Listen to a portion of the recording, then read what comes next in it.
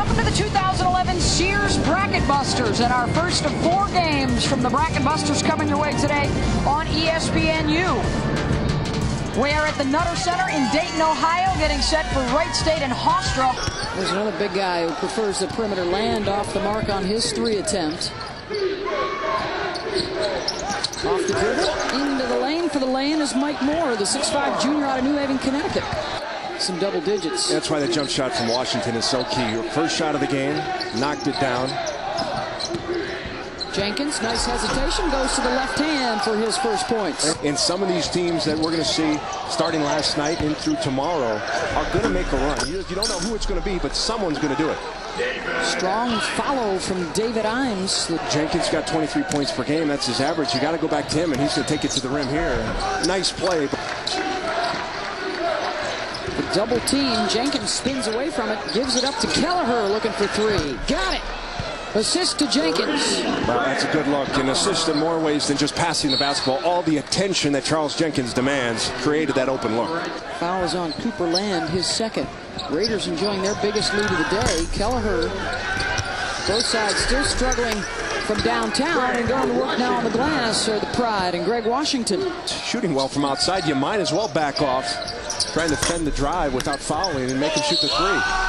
And one inside for David Imes. 82 to 56.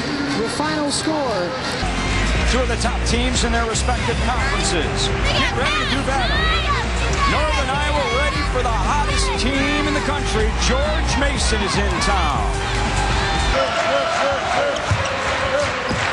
Cornelius from three nails it.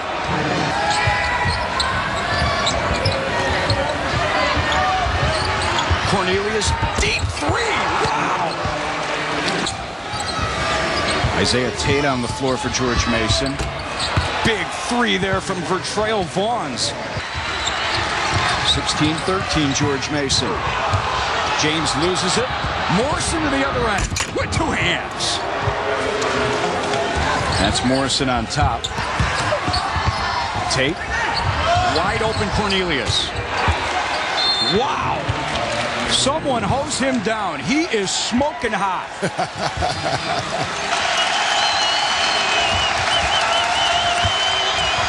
Pearson gets it. Muscles it. It goes and he'll go to the line. Against Bradley in their last win on the road. Tied a school record. Hancock wide open three. Top of the key. He was hoping they could fix it. Yeah. Long three for Hancock. Time and score. How much time is on that clock and make sure that you have it in the hands of people who can beat you off the bounce. They've left Cook hanging out dry a few times in this game.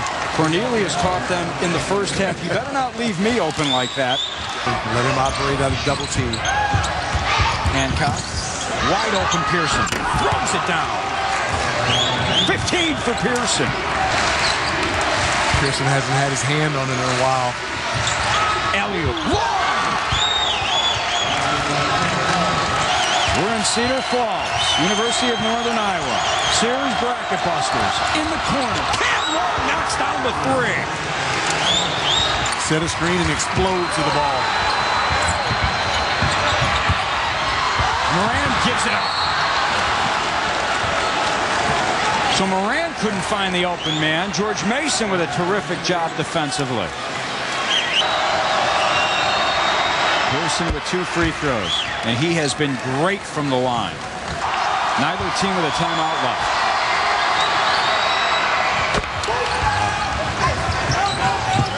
Back to the two-possession game. Final shot.